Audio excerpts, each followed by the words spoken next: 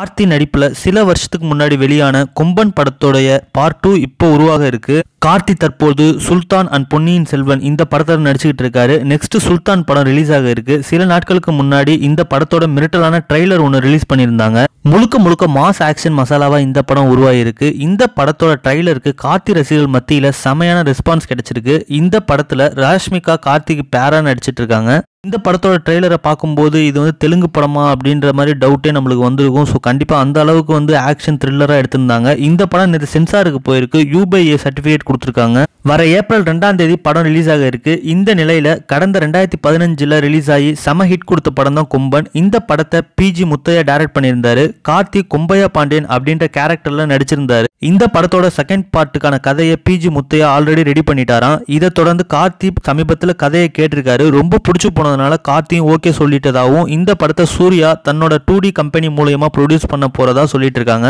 பொதுவாகவே கார்த்தி பார்த்தீங்கன்னா எப்பயுமே ஏற்கனவே ஒர்க் பண்ண டேரக்டர் கூட படம் பண்ண மாட்டார் அப்படின்னு சொல்கிற கருத்துக்கள் இருக்குது இயக்குனர் மணிரத்னம் தவிர ஆயுத எழுத்துக்கள் காற்று வெளியிடே தற்போது உருவாயிட்டு இருக்க பொன்னியின் செல்வன் அப்படின்ற இந்த மூணு படங்கள் மணிரத்னம் கூட நடிச்சிருந்திருக்காரு. ஸோ இப்படி ஒரு நிலையில தான் கார்த்தி மீண்டும் முத்தையா டைரக்ஷனில் கொம்பன் டூவில் கமிட் ஆயிருக்காரு அப்படின்னு சொல்கிறாங்க அது மட்டும் இல்லாமல் இந்த படத்துலையும் லக்ஷ்மி மேனன் ராஜ்கிரண் கோவை சர்லா தம்பி ராமையா யோகி பாபு அப்படின்னு சேம் கேஸ்டிங் தான் கமிட் பண்ணியிருக்கோம் அப்படின்னு சொல்லியிருக்காங்க. இந்த நிலையில கார்த்தி டேரக்டர் மித்ரன் கிட்ட கதை கேட்டிருந்ததா ஏற்கனவே நம்ம கேள்விப்பட்டிருக்கோம். இரும்பு திரை ஹீரோ படங்களை பண்ண டேரக்டர் மித்ரன். ஸோ அவரோட டேரக்ஷன்ல டபுள் ஆக்ஷன் படத்துல கார்த்தி கமிட் ஆயிருக்காரு அப்படின்னு சொல்றாங்க.